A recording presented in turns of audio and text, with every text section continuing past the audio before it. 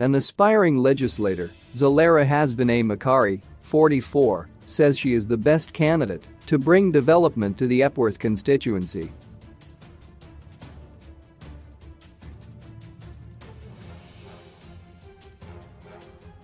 In 2018, Makari contested the 2018 elections as an independent candidate and is now back at the governing party. Speaking during a recent interview with Business Times reporter Inesu Masambu, Makari, who claims to have obtained her first degree at the University of Cape Town and as a farmer, said she decided to contest in the upcoming by-elections on a ZANU-PF ticket as she met the requirements. Asked why she should not give others a chance since has represented the Epworth constituency before, that is from 2015-2018, Makari said.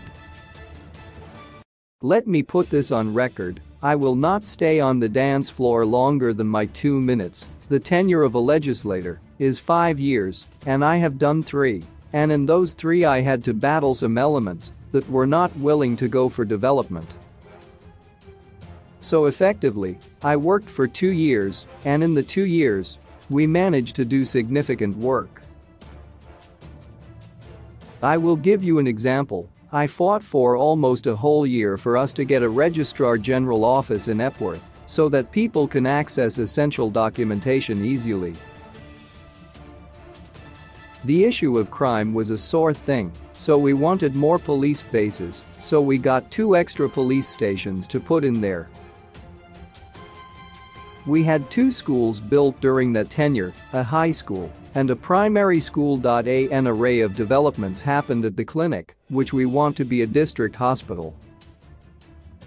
The Chiremba road that enters into Epworth was tarred, boreholes were drilled. I am actually embarrassed to talk about boreholes because that is not what we want to be, we want water reticulation.